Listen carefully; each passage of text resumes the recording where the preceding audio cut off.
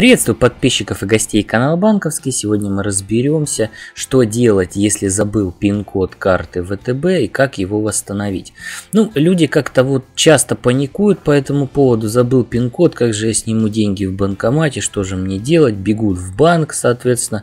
Ну, а в банке там, конечно, вам предложат вариант восстановления этого пин-кода, но сколько вы времени потеряете? Гораздо проще сделать это из дома, буквально за считанные секунды секунды.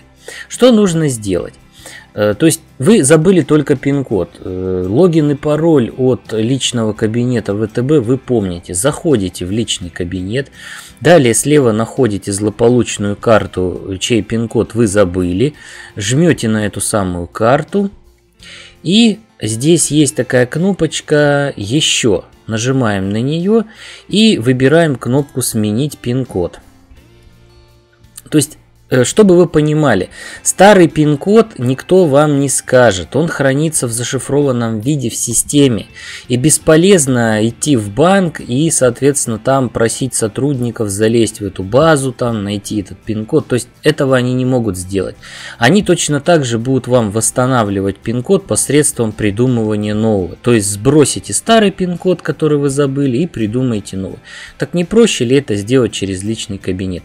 Вводим, соответственно, 4 4 цифры.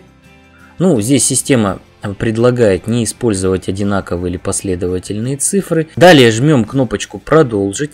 Соответственно, система предложит вам подтвердить через смс данную операцию.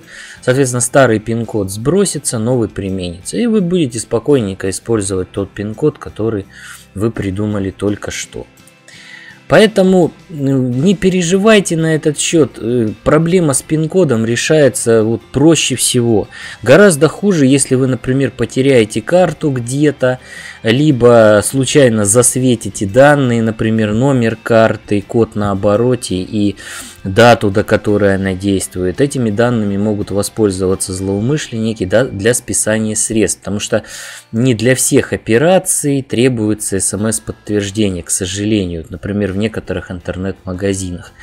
Поэтому ни в коем случае данные эти не светите, а лучше вообще вот этот код, да, где-нибудь запишите отдельно и сотрите его с карты, имею в виду на обороте три цифры. Потому что, ну, достаточно опасно эти данные светить. Ну, а по пин-коду все просто. Если у вас вопросы возникли по данной теме, пожалуйста, пишите комментарии, мы с удовольствием ответим. В описании к данному ролику вы можете найти ссылки на лучшие финансовые продукты.